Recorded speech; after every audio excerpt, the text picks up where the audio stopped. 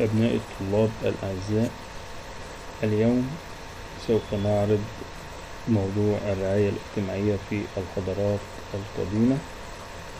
وكنا قد آه، عرفنا أن الرعاية الاجتماعية عبارة عن آه، أنشطة إنسانية صاحبت الإنسانية منذ القدم وتطورت بتطور العلوم والمعارف. وإن الإنسان أينما عاش سيواجه مشكلات مختلفة مع بيئته. المشكلات دي بتستدعي ظهور آه، الجهود للمساعدة وفعل الخير علشان خاطر تواجه تلك المشكلات والعقبات. آه، لهذا آه، عرفت البشرية منذ القدم أساليب متعددة ومختلفة للخدمات الاجتماعية. وأيضا مظاهر آه، متعددة لجهود الإنسانية. فتابعت على مر التاريخ آه، وأيضا بتوالي العصور المختلفة. برزت الخدمات الاجتماعية بصورة أكثر وضوحا وتنظيما سواء كانت برا أو إحسانا أو تعاونا. كما اتسمت أيضا بطابع ديني وإنساني فرضته الحضارات القديمة. وظهور الأديان السماوية كما سنوضح ذلك من خلال عرضنا للرعاية الاجتماعية في الحضارة الفرعونية. آه، سادت في آه، مصر الفرعونية آه، يعني طبيعة جامدة تمثلت في وجود فئتين. الفئتين دول هم فئة حاكمة متسلطة. بتمثلها الحكام والكهنة والفئة الأخرى ألا وهي الفئة المحكومة والمستغلة اللي بيمثلها الفلاحين والجنود والعمال. وعاشت مصر تحت حكم فرعون اللي كان له سلطة مطلقة في الحكم بيستند إلى آه، معتقد أنه سليل آه، الآلهة على الأرض. وليس لأحد مكان حق معارضته أو التصدي لرغباته. آه، يمتد كده جبروته وسلطانه علشان خاطر يشمل البلاد بطولها وعرضها. واحتل أيضا رجال الدين مكانة سامية في المجتمع الفرعوني. وساهمت الديانات الفرعونية في تأكيد استقلال طبقة الفلاحين بواسطة الحكام يعني ورجال الدين. فقد كان فرعون هو الإله كان يملك كل أسباب الرزق فكانت ملكية غالبية الأراضي الزراعية وبيملكها له. وكان بيهب جنوده أو موظفيه بعض الأراضي ولكن لم ينقل ملكيتها له. ما كانش بينقلها لهم ملكية تلك الأراضي. يعني في أي لحظة من اللحظات ممكن هو يطرد من يشاء وقت ما يشاء. وكان إنتاج الأرض أو المحصول لما بيطلع كان بيودع بيودع في الصوامع والمخازن المملوكة أيضا له. وكان بيهب جزء منها لرجال البلاط والوزراء والحكام والفلاح. ما كانش بيحصل إلا على أقل القليل اللي هو يعني يقدر من خلاله يستمر في العمل. ومن أجل يعني إيه برضو غيره. بالإضافة لكده إن هم ظهر إن الفلاحين كانوا بيرشقوا أيضا للسخرة في بناء المعابد والأهرامات والمقابر وكان الفلاح ده حاله. أما العمال فكانوا بيعملوا في تكسير الأحجار الصلبة وكانوا بيعيشوا في فقر وحرمان وبعضهم أيضا كان بيشتغل في القصور الملكية أو عند الأشراف في وفي بناء دور العبادة وكان البعض الآخر بيقيم في المعابد علشان خاطر يقدر أو يصنع ما تحتاج إليه هذه المعابد من أساسات و بالرغم من الاستغلال في الحضارة الفرعونية إلا إن ظهر برضو مظاهر للرعاية. إن يعني كان كل فرد في مصر الفرعونية ده بيعتبر إن هو بيعيش في منف أو يعني في حماية فرعون إلا أن كان هناك بعض أنواع الرعاية من طبقة الحكام ورجال الدين اتسمت بالصدقة والإحسان بين السيد والعبد. وكان بيأمر الملك بتوزيع الصدقات على الفقراء. وهم مقابل كده بيدعوا له بالثناء والحمد. وكان بيأمر بمنحهم أيضا الملابس والطعام. وده جه وظهر واضح في العديد من اللوحات اللي كانت موجودة على أحد القبور للملوك منهم أمنحتب الثالث. كان مكتوب عليها لقد أعطيت الخبز الجائع وسمحت لمن لا يستطيع عبور النيل أن يستعمل قاربي وكنت أبا لليتيم وزوجا للأرملة وواقيا لمن يعاني الفقر وغيرها من الخدمات زي إنشاء بيوت لإيواء اليتامى والشيوخ وذوي العاهات والعجزة والاهتمام أيضا بالأسرة ورعاية العمال وقصة سيدنا يوسف الصديق يعني أبلغ دليل على اهتمام فرعون بإطعام الشعب في سنوات القحط وتوزيع القمح عليه. برز أيضا هذا النوع اللي هو المتطور من الرعاية الاجتماعية نتيجة مجموعة من العوامل المتعددة اللي من أهمها العوامل الطبيعية والعوامل التكنولوجية والعوامل الدينية ثم العوامل الإدارية والسياسية والإجتماعية وهنعرض لكل منها على حدة على النحو التالي. فمثلا العوامل الطبيعية دي بسبب خصوبة أرض النيل اللي هي أتاحت للمصريين اللي هم الفراعنة الاستقرار وممارسة النشاط الزراعي. وبالتالي ازدهرت الحياة الاجتماعية والحياة الاقتصادية وكان منسوب المياه في فصل الجفاف بيدعو إلى التعاون بين المصريين. ففي عهد مثلا الملك زوسر انخفض نهر النيل فأصدر الملك كتابا لموظفيه قال فيه الحبوب قليلة والخضروات شحيحة وليس هناك ما يأكله الناس حتى غدا كل امرئ يهاجم أخاه ثم حث الملك موظفيه على علاج الحالة وكده بيكون حثهم على البر والإحسان فيما بينهم. تاني حاجة اللي هي العوامل التكنولوجية والعوامل التكنولوجية في الفترة ديت كان الفلاح المصري الفرعوني بيستخدم آلات طبعا بدائية لا تنتج إلا المحصول قليل وضئيل.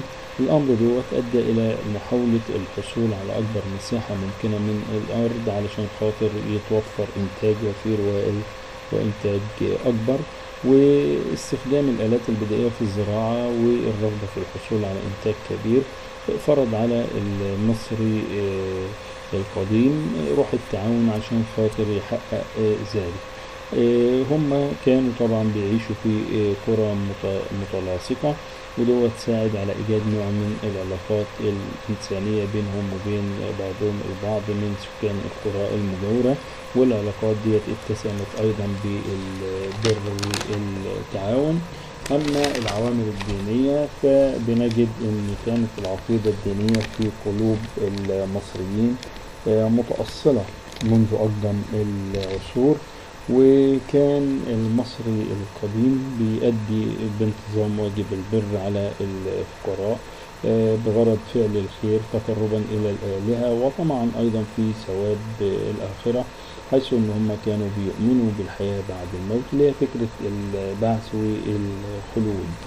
أما العوامل الإدارية فمصر كانت قسمت إلى أقاليم وكل إقليم من الأقاليم بتاعتها كان له حاكم معين من قبل الملك كان بيفصل بين المشكلات بين المصريين وكان بيفصل بينهم بالعدل والحق وفي وصايا بتاع حتب للحاكم قال له أقم العدل لتوطيد مكانتك فوق الأرض وواسي الحزين ولا تعذبنا الأرملة ولا تحرض رجلا من ميراث والده ولا تكون فظا لأن الشخصية محبوبة رغم أن العوامل دي أوجدت مظاهر حياة قاسية بعض أوجه الرعاية يعني المظاهر القاسية بتاعة الحياة خلت يظهر نوع من الرعاية الاجتماعية اللي هي اتوجهت إلى الفئات اللي إحنا قلنا عليها. أما بعد ذلك فهي العوامل السيا- السياسية. الحكام طبعا كانوا بيقوموا بتقديم بعض برامج الرعاية الاجتماعية للطبقات أو الشعب خوفا من إن هم يقوموا بثورة عليهم وينقلبوا عليهم.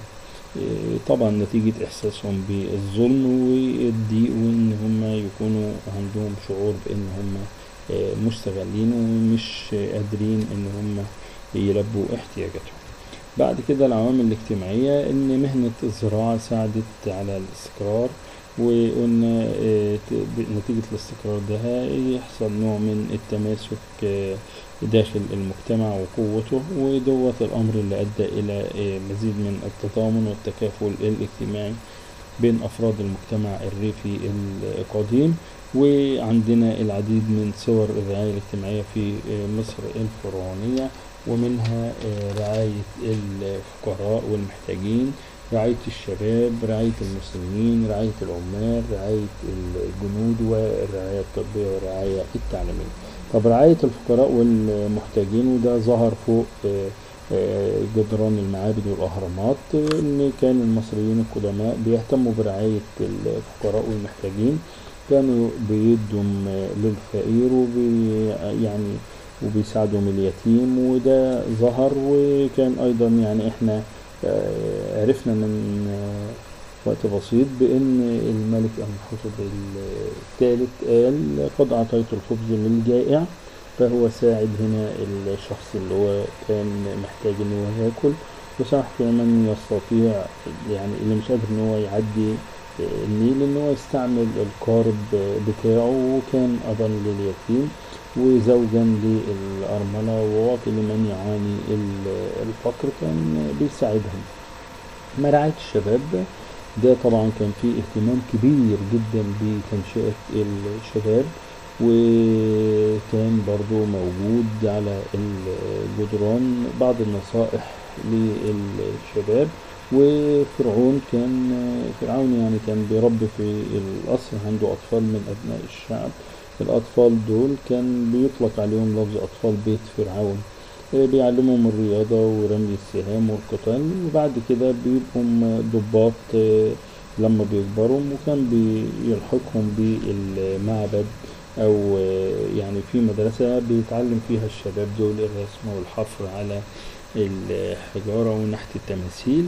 وكان هناك أيضا مكتبات بتحتوي على المخطوطات تجرى بالمعابد ديت مسرحيات دينية وأخلاقية عشان توجه الشباب. أما رعاية المسلمين فظهرت طبعا لما أنشأ فرعون أو الفراعنة بعض الملاجئ للواء الشيوخ والعجزة وموظفي البلاط اللي هم كانوا بلغوا سن الشيخوخة وغير قادرين على العمل فكان بيلحقوهم بالأعمال اللي تتناسب مع عجزهم أو سنهم وبينفق عليهم حتى وفاتهم.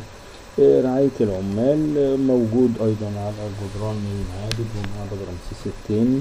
كان بيخاطب فيها العمال فبيقول لهم أنتم أيها الرجال الطيبون يا من لا تعرفون التعب ويا من توفون بواجباتكم على الوجه الأكمل الأغذية أمامكم وفيرة والطعام حولكم.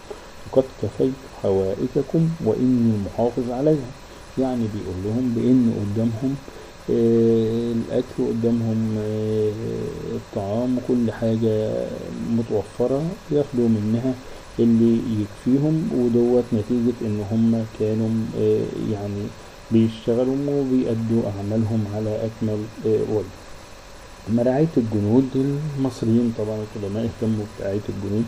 سواء صحيا أو غذائيا بالإضافة أيضا إلى أماكن الإقامة بتاعتهم. فكانوا بيوهبوا لهم الأراضي وبيعفوهم من الضرائب وكانوا بيقعدوا في مناطق كده المناطق دي كانت بتبقى عسكرية عشان يكونوا مستعدين على أكمل الوجه عشان يقوموا بواجبهم العسكري لو دعت الضرورة لهذا. وعدم قدرة أحدهم مثلا على إن هو يؤدي الواجب العسكري فكان ابنه هو اللي بيقوم في حالة عدم إيه؟